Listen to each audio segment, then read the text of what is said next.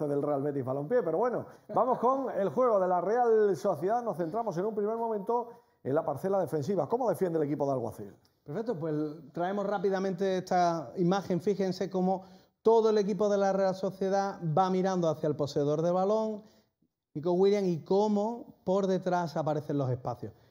Hoy esos espacios los que puede ocupar Jesús Rodríguez partiendo desde la derecha, siendo Abdel el jugador, en este caso, que centre. Esa es la manera de defender por las bandas, pero ¿cómo defiende por dentro?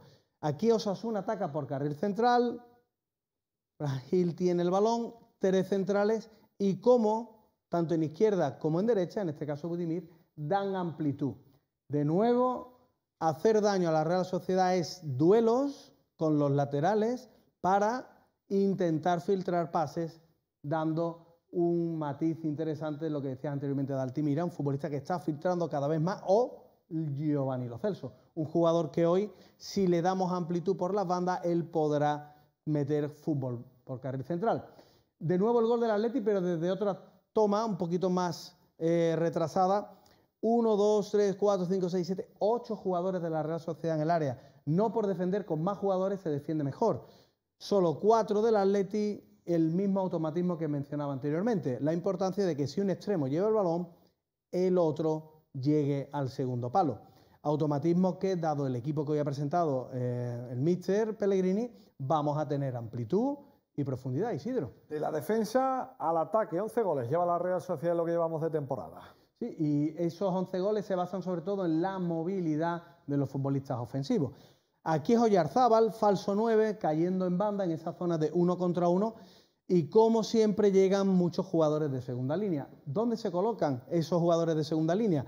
Pues fíjate Isidro, hemos marcado una zona eh, de carril central en el área, siempre buscando esos metros, puntos de penalti y también el segundo palo.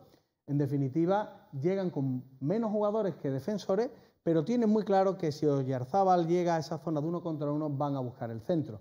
Se estarán preguntando, Jesús, ¿en qué nos afecta esto a nosotros? Pues a los laterales. Hay que tener en cuenta que esta Real Sociedad, en cuanto llega y tiene opción, van a centrar. No nos debe pasar como, con Valencia, que el lateral no tenía ayudas constantes, porque si no, vamos a tener problemas. Y otro matiz interesante de este equipo de la Real Sociedad es la manera de presionar arriba van con cinco futbolistas, como si fuese un dado, con absolutamente todo. ¿Dónde están entonces los peligros? En que si el Betis pierde el balón en salida, hay que tener muchísimo cuidado con los medias puntas. ¿Dónde está entonces el, punto hoy para vencer una presión tan alta? La verticalidad, jugar en largo, buscar a Abde, a Jesús y a Vitor Roque, un futbolista que hemos mencionado poco en la previa, pero que para un partido como el de hoy es muy importante tenerlo, Isidro. Bueno, pues puede ser fundamental y ojito, con la presión de la Real Sociedad. Gracias, Botello. Vuelve corriendo al sitio y me llega el saludo. Vámonos. bueno, pues eh, te damos tiempo.